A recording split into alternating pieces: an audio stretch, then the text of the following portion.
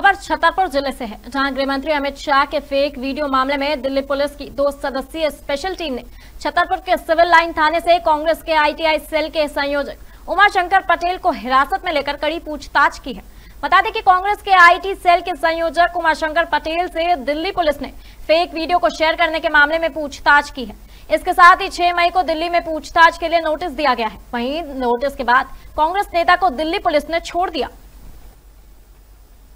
एक वीडियो चल रहा था, माननीय गृह मंत्री अमित शाह जी का जिसे वो एडिट करके डाला गया था। किसी ने डाला था, वो मैंने शेयर किया था।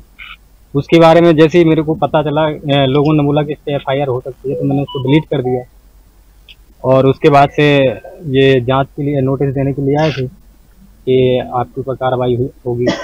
अब मेरे को नहीं जानकारी थी कि इस एफ़ आई आर होगी या क्या होगा। मुझे उस वीडियो के बारे में पता भी नहीं था कि ये एडिट है। मुझे ऐसा लगा कि ये रियल है। तो उसमें ये था कि हमें शाह जी बोल रहे थे कि S C, S T, O B C वर्ग का जो आरक्षण है, उसको सरकार आने के बाद ख़त्म कर देंगे हम। उस वीडियो को मैंने डाल दिया। तो बहुत सारे सोशल मीडिया पे डाला भी है, वर्तमान में भी डाला है, और मेरे से पहले भी डाला गया था। तो दिल्ली दिल्ली पुलिस आई थी स्पेशल पुलिस की तो उसने पूछताछ की और नोटिस दिया छः तारीख के आसपास बुलाया है।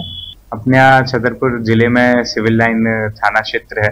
वहाँ पर एक दिल्ली के स्पेशल सेल की टीम आई थी और उन्होंने अपने वहाँ पर जो प्रकरण पंजीबद्ध है, उसके संबंध में इन्वेस्टिगेशन के कारण यहाँ आए और यहाँ पर हमारी टीम के सहयोग से कार्रवाई की है और कार्रवाई अभी पूर्ण हुई है।